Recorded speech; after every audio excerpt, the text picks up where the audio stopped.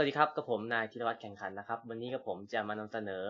Advanced Computer Programming นะครับ การบ้าน Class Basic นะครับ โดยการเปลี่ยน text เป็น GUI โดยโปรแกรมที่ผมจะมาเปลี่ยนจาก text เป็น GUI นั้นเป็นโปรแกรม ATM อ่อวิศวกรคอมพิวเตอร์ธัญบุรีนะครับ โดยตัวโปรแกรมผมจะใช้ตัวโปรแกรมของการบ้าน ATM ของครั้งที่แล้วนะครับ มาใช้ในการเปลี่ยนเป็นจาก text เป็น GUI แบบฟอร์มแต่ละหน้านะครับ ผมจะมีการทำงานที่แตกต่างกันนะครับ ได้แก่หน้าหลัก การลงทะเบียน การเลือกสกุลเงิน หน้าต่างของตัวดำเนินการบัญชีนะครับ และหน้าต่างการอายัดบัญชีนะครับ แต่ละฟอร์มนะครับ หรือแต่ละหน้าต่างของโปรแกรมนะครับ ผมจะสร้างฟังก์ชันหนึ่งขึ้นมานะครับ เพื่อเปลี่ยนจากฟอร์มปัจจุบันนะครับ ไปสู่ฟอร์มถัดไปนะครับ ฟังก์ชันนี้นะครับ เราจะต้องทำการกำหนดตัวแปรขึ้นมาก่อนครับ จากนั้นให้ทำการใช้คำสั่ง จากนั้นให้ทำการใช้คำสั่ง show dialog ครับ เพื่อเป็นการเปลี่ยนไปแบบฟอร์มต่อไปครับ ในแต่ละแบบฟอร์มนะครับ จะมีการกำหนดฟังก์ชันและตัวแปรต่างๆนะครับ ที่ใช้สำหรับการดำเนินการในหน้าแบบฟอร์มนั้นๆครับ และเมื่อเราเปลี่ยนจาก text มาเป็น GUI นะครับ เราจะใช้คำสั่ง message box show นะครับ แทนการใช้ console white line เพื่อเป็นการโชว์ข้อมูลหรือข้อความของเราที่ต้องการแจ้งเตือนให้กับผู้ใช้งานครับ ในหน้าต่าง GUI นี้นะครับ ผมจะทำการดีไซน์โดยการใส่ลูกเล่น สีพื้นหลัง หรือเป็นการใส่คำสั่งในแต่ละปุ่มเข้าไปครับ เพื่อให้สอดคล้องกับการทำงานร่วมกันของแต่ละหน้าต่างครับเป็นการปรับเปลี่ยนนะครับ ผมใช้แถบเครื่องมือ ในการสร้างอ็อบเจกต์ต่างๆ ขึ้นมาครับ ครับ ส่วนต่อไปนี่ครับจะเป็นการสาธิตการทำงานของโปรแกรมครับ ตัวโปรแกรมตู้ ATM นี้ครับมีชื่อว่า ATM Computer ธัญบุรีแบงค์นะครับ โดยหน้าหลักของโปรแกรมนะครับ จะเป็นหน้าที่เราจะเป็นหน้าสำหรับล็อกอินครับ หากเรามี Account อยู่แล้ว เราก็สามารถ login ได้เลยครับ แต่ถ้าหากเรายังไม่มี Account ของเรา ให้เรากดไปที่ Sign Up ครับหรือการสมัครบัญชีครับ หน้าต่างนี้ครับเป็นหน้าต่างสำหรับการลงชื่อเข้าใช้หรือการสมัครบัญชีครับ จะมีรายละเอียดให้เรากรอกได้แก่ ID Account ของเรา ชื่อ Password แล้วก็จำนวนเงินใน Account ครับ โดยในแต่ละหัวข้อนะครับ จะมีการกำหนดขอบเขตให้กับผู้ใช้งานครับ ยกตัวอย่างนะครับ ผมต้องการใส่ตัว Account ID ที่มีเลขมากกว่า 13 หลักนะครับ เมื่อทำการสร้างแล้ว เมื่อทำการสร้าง Account จะเห็นได้ว่ามีกล่อง Message Box แจ้งเตือนขึ้นมาครับว่ากรุณาใส่เฉพาะเลข 13 หลักเท่านั้นครับ และในกรณีที่เราไม่ได้ใส่ ข้อมูลอย่างอื่นนะครับ เข้าไปให้ครบถ้วน หรือมีข้อมูลที่ผิดพลาดนะครับ ตัว message box ก็จะเด้งขึ้นมาแจ้งเตือนผู้ใช้งานเหมือนกันครับ ในตัวอย่างนี้นะครับ เป็นเรื่องของ account name นะครับ หรือก็คือชื่อของผู้ใช้นะครับ ต้องมีจำนวน 1-50คำเท่านั้นครับ ไม่สามารถมากกว่านี้ได้ ในส่วนของ password นะครับ จะต้องมีแค่เลข 4 หลักเท่านั้น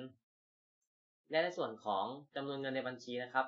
จะต้องอยู่ในวงเงินที่อยู่ระหว่าง0ถึง1ล้านครับ ไม่สามารถเกินกว่านี้ได้ และไม่สามารถเป็นเลขติดลบได้ครับ จากนั้นเราทำการสร้าง ID account ขึ้นมาครับ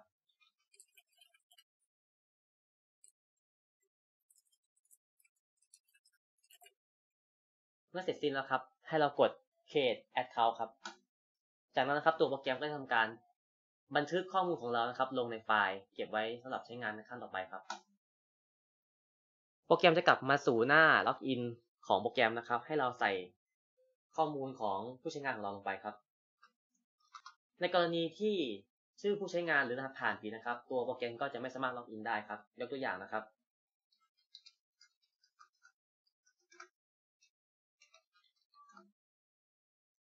จะเห็นได้ว่าตัวโปรแกรมได้โชว์กล่องข้อความเตือนขึ้นมาว่า ระบบไม่พบผู้ใช้งานรายนี้นะครับ หรือก็คือเราไม่ได้ลงชื่อเข้าใช้งานของผู้ใช้รายนี้ไว้ครับ เราจะต้องมีชื่อและรหัสผ่านที่เราได้สมัครไว้แล้วครับ ถึงจะสามารถใช้งานโปรแกรมนี้ได้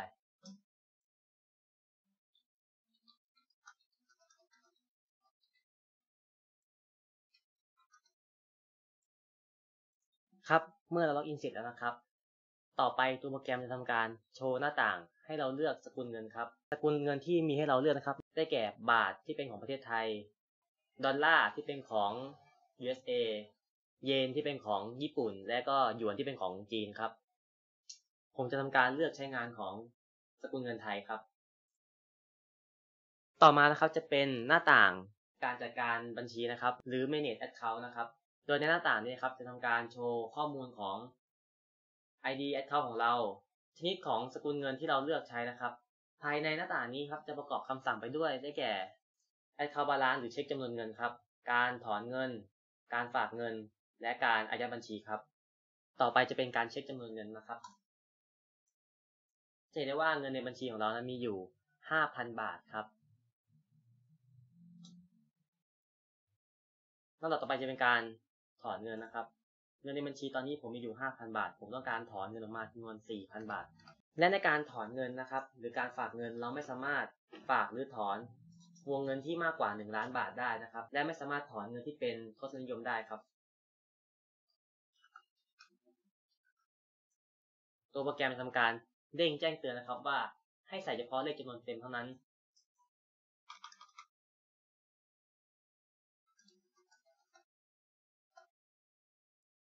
และถ้าหากเงินในบัญชีของเรามีไม่เพียงพอนะครับ ตัวโปรแกรมจะทำการโชว์ว่าเงินในบัญชีของเรามีไม่เพียงพอครับ เมื่อผมทำการถอนเงินเสร็จสิ้นแล้วนะครับ มาเช็คดูอีกทีในคำสั่งเช็คเงินในบัญชีนะครับ จะพบได้ว่าเงินในบัญชีของเราได้หายไป 4,000 บาทครับลำดับต่อไปจะเป็นการถอนเงินนะครับ การถอนเงินอย่างที่กล่าวไว้ข้างต้นครับ เราจะไม่สามารถถอนที่เป็น เราจะไม่สามารถถอนเงินที่เป็นทศนิยม และไม่สามารถถอนเงินที่มีวงเงินมากกว่า 1 ล้านบาทได้ครับ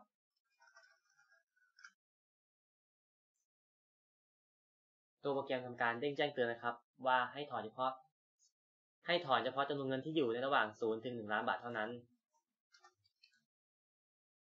และเลขทศนิยมก็เช่นเดียวกันครับ ผมจะทำการฝากเงินไปทั้งหมด 9 9,000 บาทนะครับ เช็คเงินในบัญชีดูครับ จะพบว่าเงินในบัญชีเราเพิ่มมาแล้วครับตามจำนวนเงินที่เราฝากเข้าไปลำดับต่อไปนะครับ ผมจะทำการสาธิตการเลือกสกุลเงินที่แตกต่างจากสกุลเงินไทยครับ ยกตัวอย่าง ผมจะใช้สกุลเงินของดอลลาร์นะครับ หรือ USA เมื่อเข้าไปนะครับ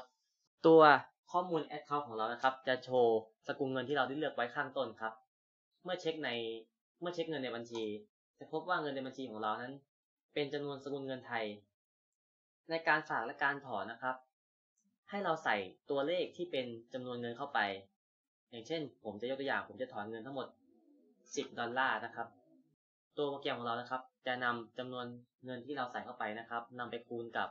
ค่าสกุลเงินของแต่ละประเทศ เพื่อนำมาบวกลบกับเงินในบัญชีของเราครับ ผมถอนไปทั้งหมด 10 ดอลลาร์นะครับ ตีเป็นเงินไทยราวๆ310 บาท เมื่อเช็คเงินในบัญชีนะครับ จะเห็นได้ว่าเงินในบัญชีผมจาก 10,000 บาทหายไปราวๆ 310บาทนะครับ การฝากเงินก็เช่นเดียวกันครับ ให้เราใส่จำนวนเงินเข้าไป ตัวโปรแกรมจะนำไปคูณกับค่าสกุลเงินของแต่ละประเทศผมฝากไป20ดอลลาร์ครับ จะพบว่าเงินในบัญชีของผมนะครับ เพิ่มมาราวๆ620บาทครับ และในส่วนต่อไปนะครับ จะเป็นส่วนของการอายัดบัญชีครับ การอายัดบัญชีนะครับ ตัวโปรแกรมจะทำการเก็บข้อมูลของผู้ใช้รายนั้นนะครับ เข้าไปไว้ใน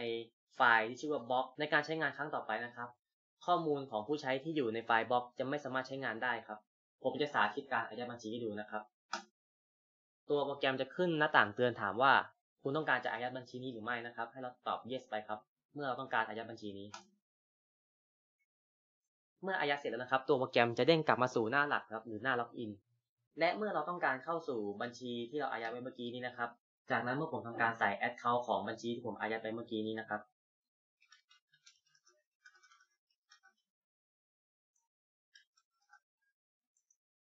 จะเห็นได้ว่าตัวโปรแกรมนะครับ จะขึ้นหน้าต่างเตือนขึ้นมาว่า บัญชีของคุณได้ถูกอายัดไปแล้วนะครับ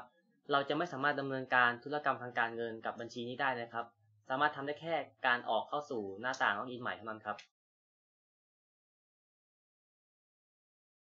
ข้อมูลทุกอย่างนะครับที่ผมได้บันทึกลงไปในโปรแกรมนะครับ จะถูกเก็บไว้ในไฟล์ของโปรแกรมครับ